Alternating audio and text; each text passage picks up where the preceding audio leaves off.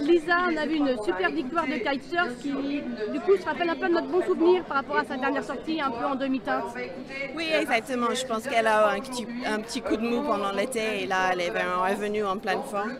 Euh, souvent, les pouliches à 4 ans, il faut attendre euh, plus tard dans l'année pour les voir au, au meilleur. Et je pense que oui, elle, est, elle va progresser encore depuis cette course pour, pour l'automne. Est-ce que du coup, le, le vermeil est la suite logique